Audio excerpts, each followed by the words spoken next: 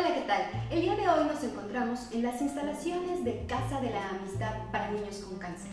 Y para hablarnos acerca de este importante organismo, se encuentra con nosotros su director general, el ingeniero Leonardo Arana. Muchas gracias por aceptar la entrevista. Gracias, Erika. Muchas gracias a ti y a, todos ustedes. Y evidentemente para nosotros es muy importante eh, participar en, este tipo de eventos con, con instituciones tan, tan serias como las de ustedes. Muchas gracias. Pero cuéntanos, Leonardo, ¿cuál es el principal objetivo de Casa de la Amistad? Bueno, el principal objetivo de Casa de la Amistad es muy, muy claro. Es aumentar el nivel de sobrevida de los niños eh, que tienen cáncer aquí en este país. Cada año, por lo menos sabemos que hay 5.000 niños. Y te digo 5.000 niños que tienen cáncer, porque en realidad las estadísticas en el país no son tan concretas ni tampoco son tan accesibles y no hay, no hay, no hay tanta información que nosotros consideremos que sea todo. Seguramente hay más, pero por lo menos los que conocemos son 5.000 niños cada año que tienen y padecen cáncer, que es la primera razón por la cual se mueren los niños en este país.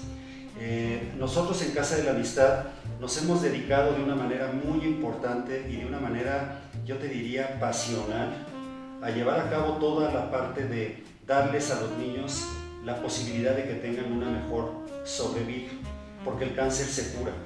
Y se cura cuando se, cuando se detecta a tiempo, cuando se les da un buen tratamiento, cuando les das un acompañamiento de todo lo que implica el que haya los padres, la familia, toda la red social que tienen que tener alrededor una conciencia de lo que es la enfermedad, que es una enfermedad que nos puede dar a todos.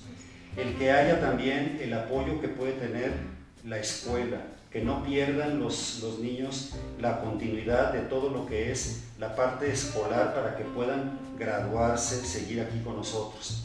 El que tengan asegurado que el tratamiento, que normalmente nosotros lo vemos por cinco años, sea sin costo para ellos. Es decir, llega alguien a casa de la amistad y en ese momento eh, se olvidan de todo menos de la enfermedad. Y nosotros los apoyamos con todo lo que tiene que ver para que esa enfermedad, que se puede curar, sea lo más llevadero para ellos, pero que no se preocupen por recibir una cuenta, porque nosotros nos encargamos de todo lo que más adelante te, te platicaré que es el programa. Pero básicamente y fundamentalmente el objetivo que tenemos el grupo de patronos que tiene 30 años con Casa de la Amistad, eh, muy comprometidos, que es un grupo de gente extraordinariamente comprometida con la causa. Las voluntarias, que es un grupo de personas que vienen y nos apoyan con todas las labores de Casa de la Amistad. El staff, que es un staff que tiene también, pues yo te diría que una causa que los lleva a dar más allá de lo que cualquier otra gente eh, pudiera dar porque salvamos vidas. Y por otro lado también algo que para nosotros es fundamental, que son todos nuestros donantes, que es la gente que nos apoya y que nos ayuda. Enfocados todos exactamente a mejorar el nivel de sobrevida de los niños de escasos recursos hasta los 21 años en este país que, tienen cáncer. ¿Cuáles son los programas que ofrecen Mira, tenemos varios programas que es, yo te diría, dependiendo de cada uno de los casos y de cada uno de los niños, porque hay diferentes etapas, momentos y sobre todo también edades. Hemos recibido niños muy pequeños, muy pequeños, casi recién nacidos con cáncer. Y también hemos recibido jóvenes que tienen hasta 21 años también con cáncer. Dentro de esta parte del cáncer, pues hay niños que tienen un tipo de cáncer, hay otros que también tienen otro tipo de cáncer eh, hay algunos que vienen probablemente de alguna parte del país, porque nosotros recibimos niños que están desde, desde Chiapas, este, en todo el país, absolutamente en todo el país tenemos presencia y todos los niños los recibimos. Son niños que llegan, nos, nos son referidos fundamentalmente por los hospitales del sector salud y dependiendo de cada una de las características, tanto eh, digamos de físicas como familiares que tiene cada uno de ellos, nosotros acomodamos el programa que mejor le convenga a ellos. Pero ese programa tiene varias cosas básicas. Por ejemplo, cuando llega un niño a casa de la amistad, en ese momento le hacemos todo un estudio socioeconómico porque queremos saber cómo es la relación familiar, cómo se lleva con los padres, cómo está tomando ese niño la, enfermedad que tiene, para poder empezar a tratar de, discernir cuál es el mejor apoyo emocional, psicológico, de qué tipo lo necesita, dependiendo de cada una de las características que te acabo de mencionar. Una vez que llegan, nosotros les damos una, una habitación para que pasen ellos aquí al albergue y en ese momento lo que, lo que hacemos nosotros es que les damos ropa limpia, ropa nueva, les damos una, una habitación que tiene un baño privado, se les dan todas las medidas de sanitización que se requieren como para poder estar, lo cual es parte del apoyo. Les damos muchísimo, digamos, este entusiasmo al momento en el que vienen y una vez que vienen ellos, obviamente, les damos todas las, todas las facilidades de comida, les damos de comer, de desayunar, de cenar, les damos también una, una, pequeña, digamos, este refrigerio porque van también a los hospitales y todo lo que tiene que ver con la alimentación, que es muy importante durante el proceso de, de saneamiento que tiene que llevar un niño que tiene cáncer, tiene que estar perfectamente bien especificado, validado y tenemos todos los certificados que te puedas imaginar para poderles dar el alimento que requiere el tipo de niño que está dentro de cada una de las categorías de cáncer. Una vez que ya, ya pasó esto, hay una serie, digamos, de lugares dentro de la casa que lo hacen especial, único en todo este país que tienen. Tú tienes una ludoteca para niños, Tienes también un lugar para que los niños un poco más grandes puedan tener otro tipo de actividades, como puede ser a lo mejor algo que tenga que ver más con la tecnología, después a lo mejor con la música, después a lo mejor con todo lo que es la parte sensorial, para que ellos vayan aprendiendo también a asimilar la información que, que se les va dando. Y todo esto es con el apoyo de psicólogos, con el apoyo de gente que los apoya, de señoras que vienen y les van leyendo una serie de, cuentos, una serie de, de, historias que tienen que ver específicamente con cada uno de los casos de ellos. Se incluye también al padre o a la mamá. Entonces ellos vienen aquí con nosotros también y les damos clases de pintura, les damos clases también de, estilista, les damos clases de, mecánico para que ellos también puedan tener un, oficio o también pueden, pueden ellos escoger el ir a la escuela. Entonces eso es digamos un poco todo lo que es la parte complementaria a la parte fundamental que es todo lo que son los medicamentos. Cuando el niño llega y se, y se instala con nosotros, tenemos un grupo de, de, camiones y de choferes que los llevan todos los días a los hospitales en la mañana y los regresan para que los atiendan allá de acuerdo a todo el protocolo que el médico nos ha dado. Y ese protocolo viene con un recetario en el cual vienen ahí todos los medicamentos. Esos también los damos nosotros. Entonces, eh, tenemos aquí toda la posibilidad de apoyarlos desde el punto de vista emocional, que es muy importante, desde el punto de vista ocupacional también, darlos y llevarlos de la mano también a los padres para que se den cuenta de que es una, es una enfermedad que nos puede dar cualquiera, que no es algo que viene, digamos, como parte de un castigo o como parte, digamos, de algo malo, es simple y sencillamente que dentro de todo lo que tiene que ver el que eh, hay en esta, en esta vida pues diferentes circunstancias por las cuales a alguien se puede enfermar. Puede ser tú, Erika, puedo ser yo, puede ser cualquiera. Es por eso que se vuelve tan importante el que se le detecte a tiempo a un niño. El cáncer, eso hace toda la diferencia para poder darle un mejor nivel de sobrevida. El que una vez que le detectas que es normalmente la mamá o el papá o en la escuela también, en donde estamos permanentemente dando pláticas para que puedan identificar si un niño tiene probablemente a lo mejor un cambio en el estado de ánimo, si le sale probablemente a lo mejor alguna, algún, algún tumor por acá, alguna razón por la cual la, la, este, la, la temperatura le sube sin que baje durante un periodo de tiempo determinado eso lo que hace fundamentalmente es que son unas señales muy importantes de que el niño puede tener cáncer. Muchas veces no se puede expresar el niño, pero el papá es el que tiene que llevarlo a una clínica, a un centro de salud, para que le den esta, este diagnóstico, a su vez lo manden con un oncólogo experto, especialista, y a su vez nos los envíen a nosotros, siendo únicamente para niños que no tienen recursos. Nosotros aquí, una de las de las misiones más importantes que nos pusieron tanto los eh, los, fundadores de Casa de la Amistad, eh, la, familia, este, tanto Felipe como Amalia, que, que, son los que estuvieron, digamos, con un grupo muy reducido de, de fundadores. nos han dicho, ustedes tienen que llevar y acompañar al niño desde que se detecta el cáncer hasta que se cura. Esto puede ser un proceso de cinco años. Y nosotros lo que hacemos aquí en Casa de la Amistad, a diferencia de otras instituciones, que realmente nos da mucho, mucho orgullo el poder decirlo, es que cuando un niño eh, llega a Casa de la Amistad referido porque tiene un... Nosotros hacemos una reserva contablemente dentro de los estados financieros de la institución por un periodo de cinco años para que, para que él esté totalmente protegido con medicamentos, con educación, con comida y también con transporte. Si tiene que venir de Chiapas, de una comunidad que está probablemente a lo mejor en algún lugar en Chihuahua, si hay alguna otra parte donde también pudiéramos pensar que no hay una, posibilidad de que se atienda ese niño, nosotros lo podemos atender.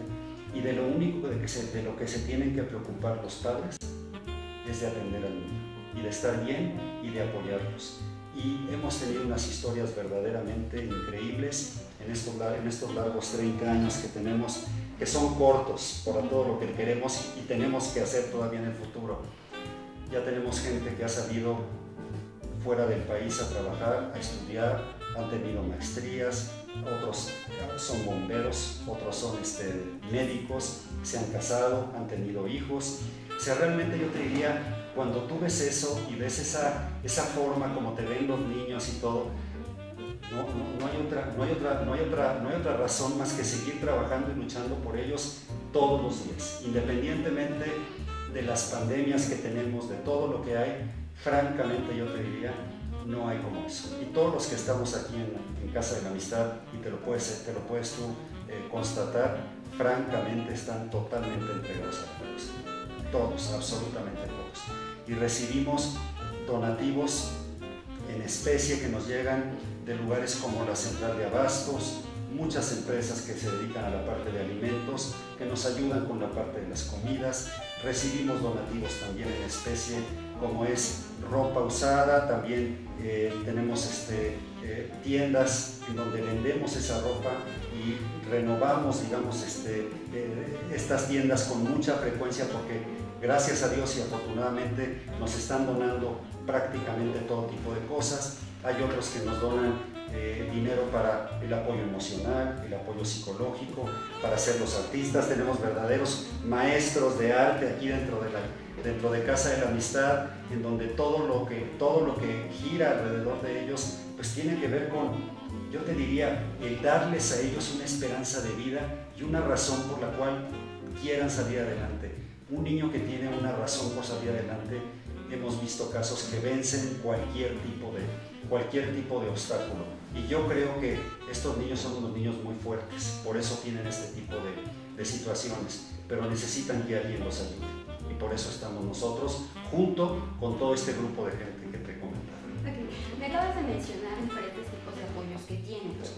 Pero eh, la siguiente pregunta era en relación y, y sí me gustaría hacer mucho hincapié para que se me parece algo muy importante, ¿cómo se puede ayudar a Casa de la Amistad? Claro que sí. Mira, hay muchas formas de ayudar a Casa de la Amistad. Una de las, de las, de las principales y por la cual eh, nosotros nos hemos diferenciado del resto de las, de las instituciones que estamos enfocados en esto, yo te diría es, y quiero empezar por ahí, es por la voluntad y el tiempo de mucha gente. Hay mucha gente que viene, que se suma a la causa y que viene, nos conoce, ven lo que estamos haciendo y se vuelven unos embajadores muy importantes para llevar la voz de Casa de la Amistad a las empresas, a las familias, cuando están sentados en alguna reunión social y eso empieza a generar una cadena de valor muy importante.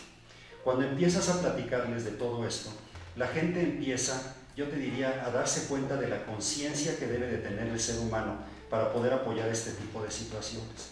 Entonces, de ahí paso a la segunda parte, que es fundamentalmente algo de lo cual todos vivimos, que es el dinero. Son los donativos que nos dan fundamentalmente tanto la parte de las empresas, en donde tenemos programas en los que ganamos los dos. Por ejemplo, hay algunas empresas que nos mandan eh, donativos que están directamente relacionados con la actividad productiva de las empresas y a cambio nosotros atendemos a los niños que tienen cáncer dentro de ese grupo empresarial que ellos nos donan. Entonces ese dinero lo podemos nosotros etiquetar también para este, para este grupo de gentes. Hay otras personas eh, que también nos donan dinero para medicamentos, para, todo este tipo de cosas, para alimentos. También hay gente que nos dona medicinas, perdón, no medicinas, que nos donan este, comida para todo lo que es lo que te estaba yo platicando de lo que es el, este, el comedor, porque servimos 100.000 comidas al año. O sea, son 100.000 comidas las que tenemos que preparar. Entonces, es una cosa muy importante. Y todos los días nos llega, y nos llega, y nos llega, y nos llega.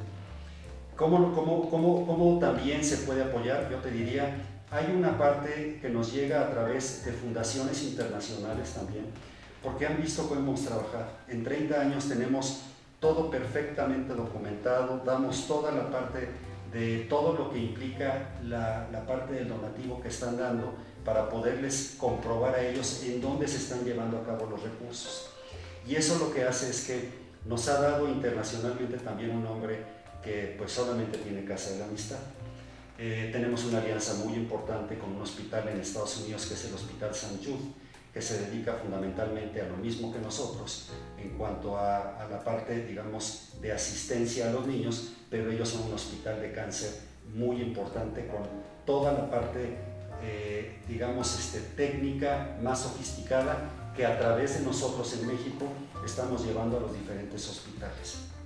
Pero el más importante de todos, dado que el cáncer no espera, y ese es nuestro lema más importante porque si tú te retrasas en cualquier tipo de, tratamiento con un niño, no le das las cosas a tiempo, su nivel de sobrevida, que era el objetivo que hablaba yo al principio, se disminuye de una manera muy importante. Entonces, tenemos que tener la continuidad y la tranquilidad de que realmente estamos nosotros teniendo a un grupo de donantes comprometidos que les llamamos los ángeles guardianes. Y los ángeles guardianes lo que hacen es que a través de donativos de cada semana, cada mes, a través de lo que es la tarjeta de crédito, a través de la página de internet, a través de donativos anuales, a través de todo, nos están permanentemente donando, pues eh, yo te diría parte de su vida para darle vida también a estos niños que tenemos aquí dentro de la casa. Entonces, eh, tenemos muchas formas, nos traen, por ejemplo, cuando ahora que vino la pandemia, la gente estaba tratando de limpiar tanto su vida como su casa, hubieron mucha gente que nos trajo muebles, y todo eso nosotros lo vendemos, lo vendemos a gente que lo revende, que también se convierte en una cadena de valor para ellos y para nosotros se vuelve también un ingreso importante. Entonces, estamos permanentemente buscando la manera tenemos todas estas formas que te he dicho. Una de las que más me gusta, evidentemente, es el tiempo de las personas para que vengan, nos conozcan y que vayan y que nos traigan a otros ángeles guardianes también aquí, para que se conviertan en arcángeles y todo lo que tenemos aquí dentro de la, dentro de la casa, pero necesitamos dinero y necesitamos mucho dinero porque si tuviéramos más dinero de los 5 mil niños que cada, que cada año hay, eh, nosotros podríamos apoyar a muchos más. Es correcto. Sabemos que el próximo 15 de agosto es su aniversario. ¿Cuáles son los principales logros que han tenido a lo largo de estos 30 años? Estamos todos, eh, yo te diría, de fiesta y muy contentos porque eh, hemos, podido, hemos podido ir cada vez superándonos más durante un periodo de 30 años y que son los primeros además. Porque la verdad es que esto va para muchísimo más. Desafortunadamente enfermedad, el cáncer, sigue en México de una manera eh, muy, muy, muy, muy, muy importante. Y yo te diría que sí, el 15 de agosto vamos a tener una celebración que siempre habíamos pensado en hacer algo de invitar a todos nuestros beneficiarios, a toda nuestra gente, a, toda a todos aquellos que nos han apoyado tanto en estos últimos 30 años, pero que no podemos por la pandemia. Entonces, eh, vamos a hacer una misa que va a tener, pues obviamente, una difusión muy importante a través de las redes sociales y que también lo va a hacer a través de alguna de las plataformas que tenemos, que son tantas, que dependiendo de cada una de las gentes, en donde se van a conectar todos los patronos, los fundadores, los beneficiarios, el staff, para poderles dar el mensaje. y ahí estaremos dando algunos testimonios de lo que ha venido pasando en estos últimos 30 años que yo creo que, yo creo que cuando uno habla y dice 30 años pareciera ser que es poco tiempo, se va muy rápido, pero han tenido que ser épocas que no han sido en algunas ocasiones tan fáciles. Yo creo que la parte más importante y la enseñanza, yo te diría es que tenemos que cumplir lo que prometemos. Y cualquiera que llegue a la puerta de Casa de la Amistad referido por un hospital del sector salud va a tener lo que te he dicho. Cinco años de tratamiento, apoyo emocional, comida, casa, apoyo para los, para los parientes. Y es un tema en el que hemos tenido día con día, día con día que trabajar para que la gente nos conozca por esa transparencia, por esa credibilidad, por el ir a tocar la puerta de las empresas y de los donantes y que nos digan, Casa de la Amistad, si quiero trabajar con ustedes. Yo he tenido toda la intención de colaborar, de hacer, pero la verdad es que no sé a través de quién, porque realmente no le tenemos la confianza. Háganlo a través de Casa de la Amistad. Casa de la Amistad tiene 30 años de ser impecablemente manejada, con un grupo de gentes que está única y exclusivamente comprometido a mejorar el nivel de sobrevida de los niños en México con cáncer y de los jóvenes también, sin costo, sin costo. Entonces, como hemos cumplido lo que hemos prometido, eso es lo que nos, da, lo que nos ha dado esa posibilidad de que la gente nos crea. Yo creo que la credibilidad es muy importante y no podemos perder, porque si perdemos eso, perdemos todo. Y yo te diría que, que hemos aprendido también que el cáncer no espera y que el cáncer no distingue. Hay que distinguirlo nosotros. Eh, ¿Por qué? Porque en realidad el cáncer le puede dar a cualquiera y todos hemos tenido muy cerca de nosotros algún caso de este tipo, que deja a las familias sin dinero, rompe la, armonía familiar, hay una serie de, de, culpas que se dan dentro de la familia de por qué sí, de por qué no, no saben cómo tratarlo. Aquí les tratamos con dignidad, los niños bailan, los niños cantan, los niños comen, los niños corren, hay juegos aquí afuera, se les cuentan cuentos. Los niños este, son felices. Los niños son felices. son, hay algunos que no se quieren ir de aquí. Sí, yo me imagino. Eh, y, realmente yo te diría, pues es una, es una cosa muy, muy, muy bonita cuando, cuando llega alguien y te dice, oye, este, ¿trabajas para Casa de la Amistad? Es un privilegio es un privilegio verdaderamente, ¿no? Es un privilegio. Y cuando nos sentamos con toda la gente, que también es lo que hemos aprendido, que son gente totalmente desinteresada, gente muy importante de muchas empresas, de todos los sectores, te das cuenta de que los comentarios, los apoyos y todo lo que hacen, lo hacen verdaderamente de corazón y sin ningún interés, sin ningún interés. Entonces, el trabajar, el manejar el dirigir una institución de este tipo, eh, que para mí ha sido verdaderamente uno de, las, de los regalos más importantes que he tenido en mi vida, porque estuve mucho tiempo trabajando en el sector financiero, manejé eh, algunos bancos, este, pero ahí ayudas a la gente a que genere valor, aquí salvas vidas. Una, satisfacción, una satisfacción increíble, ¿no? ¿Cuál es su mayor reto al frente de esta institución? esta, esta institución tiene que seguir creciendo, tiene que seguir siendo todavía mucho más relevante de lo que ya es en todo lo que implica el sector salud, en todo lo que implica el poderle dar a tantos niños que no sabemos y no conocemos en diferentes comunidades que están muriendo de cáncer.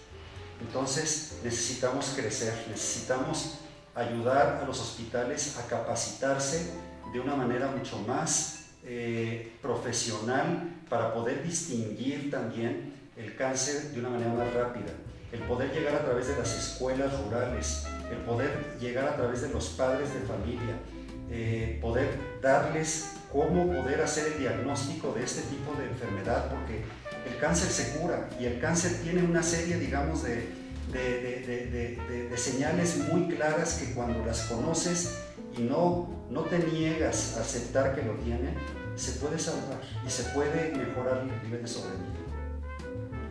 ¿Qué veo yo? Es crecer todo eso y mi reto más importante es eh, conseguir más donantes, gente que me ayude, gente que me apoye, porque la casa Casa de la Amistad no puede, no puede sola, no puede sola.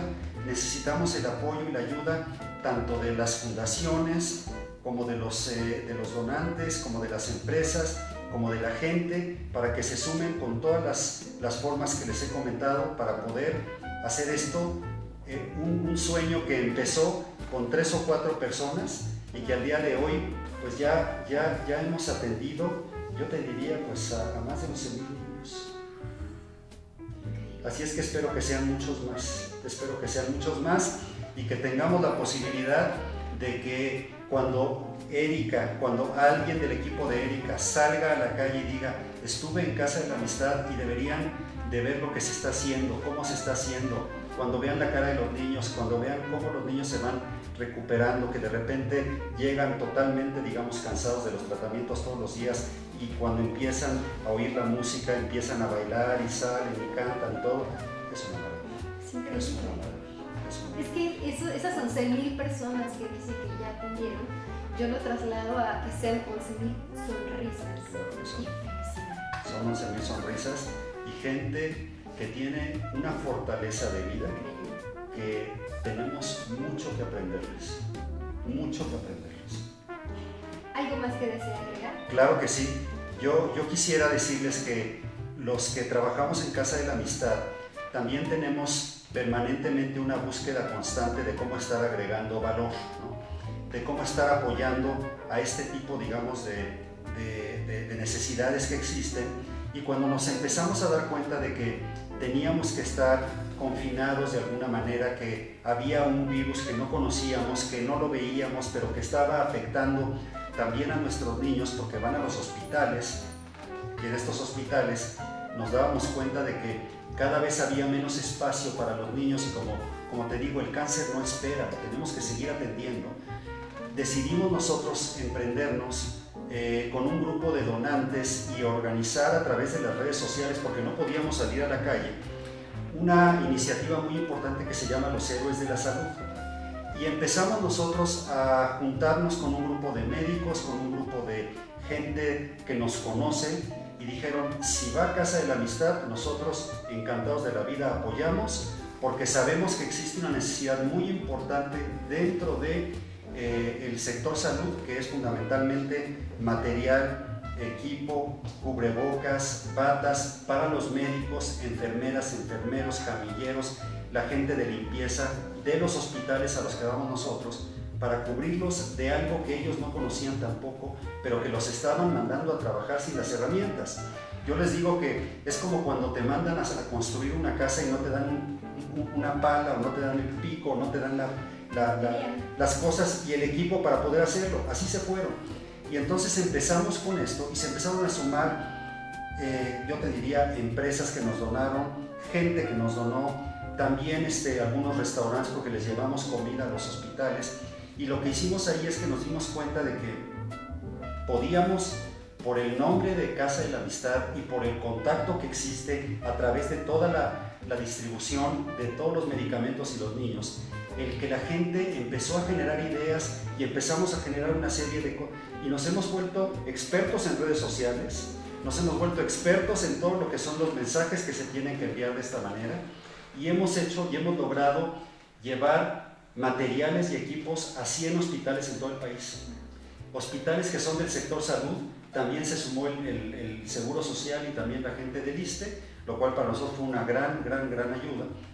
Y por otro lado también yo te diría, eh, estamos eh, permanentemente en, en, en, boca, digamos, de, de, los hospitales. Entonces, están tratando muy bien a los niños con cáncer, porque en realidad es un complemento que tiene que ver con esto. Pero lo que tenemos que hacer es estar permanentemente creando cosas nuevas, diferentes maneras.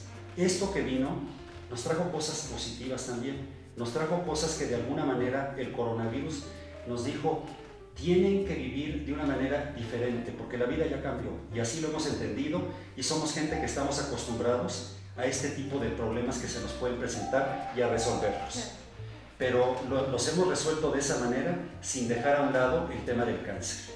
Eso es lo que yo quisiera decir. Y darles las gracias a ustedes por, haber, por habernos dado la oportunidad de platicarles en este Estuvo con nosotros el director general de Casa de la Amistad, el ingeniero Leonardo Arana. Muchas gracias por aceptar esta entrevista. Al contrario, muchas gracias a ti Erika y muchas gracias a todos. Yo por último nada más quisiera decir que para poder donar se puede hacer a través de la página de Casa de la Amistad, se puede hacer también a través de todas las redes sociales, Instagram, Facebook, todo lo que, todo lo que, lo que tenemos, estamos prácticamente en todas partes. Nos pueden llamar al 55 3000 6900 pueden comunicarse conmigo, pueden comunicarse con el área de Ángeles Guardianes. Tenemos toda la forma, se van a dar cuenta en la página que hay todo tipo de facilidades para poder hacerlo. Muchas gracias. Al contrario, muchas gracias.